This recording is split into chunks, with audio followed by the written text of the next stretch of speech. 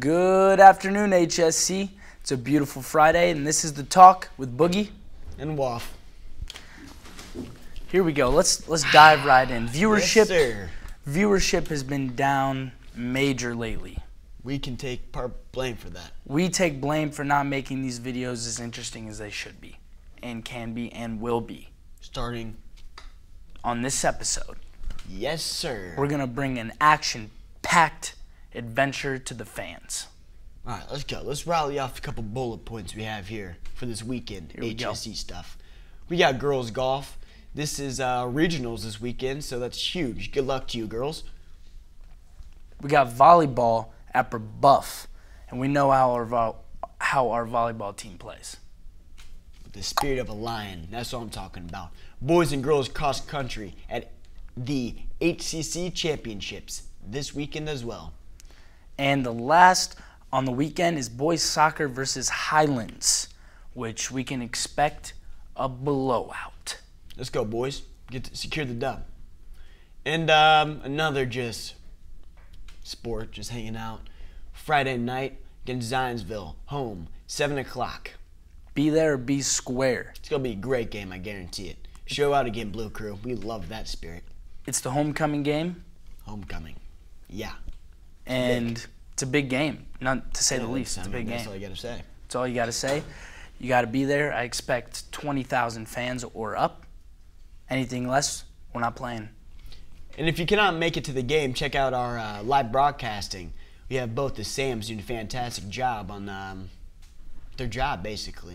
Yeah, Sam Square doing an absolute job out there. Just they're doing they're, great. They're both just absolute units, to say the least. Two genius kids doing their just what their brain is just can handle. I know it's beautiful. Anything. It's a beautiful thing to see. It's a beautiful thing to see. It's a great way to put things. So, with the um, next little thing we're going to move to, which is called an interview, my friends. We're going to interview someone before the football game, and uh, he has a big role in the team. He has a big role. He wears number four. He, his arms, quite small, but nonetheless, we're going to interview him. Tune in.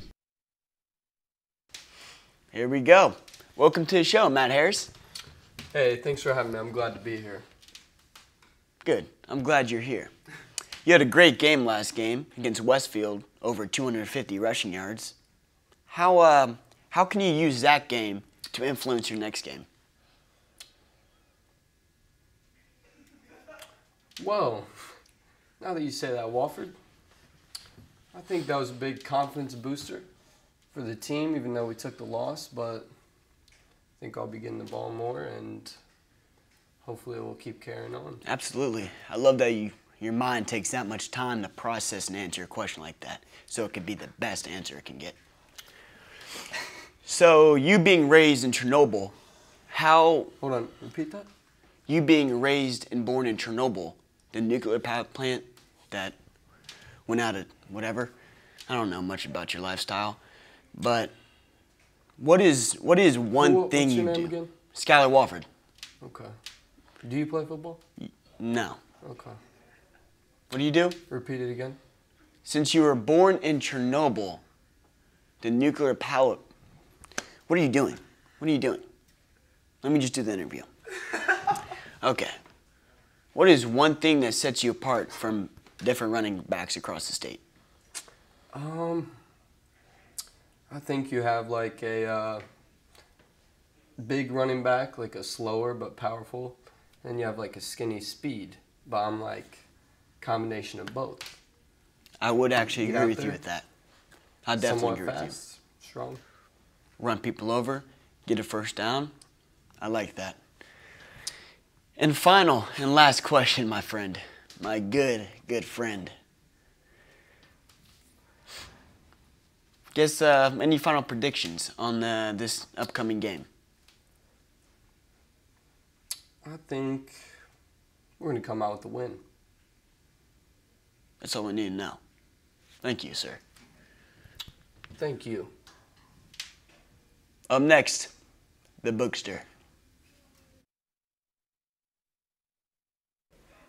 What what an absolutely electrifying interview with the Matt Harris. Can't Also take much credit for it. The turtle. We're not talking about speed here. We're talking about velocity and density. He's just there. But uh, let's get real. You know what time it is. You know what time it is, HSE. It's pink time. Woo! Ooh, it's pink time. You know, Pink game, ladies and gentlemen. You can pick up these shirts from the fan stand. The one and only. All proceeds will go to breast cancer. And there will be tables set out outside the CCA for purchases to make all proceeds go to breast cancer awareness research. Do it for the cause, do it because you love HSE. Do for the culture, ladies and gentlemen. Thank you for watching. We'll be back next week. This has been The Talk with Boogie. And Waff. For more videos like this one, make sure you like and subscribe. Follow us on Twitter, Southeastern SN. Click the link down below. This has been The Talk with Boogie and Waff. Signing Sayonara. off.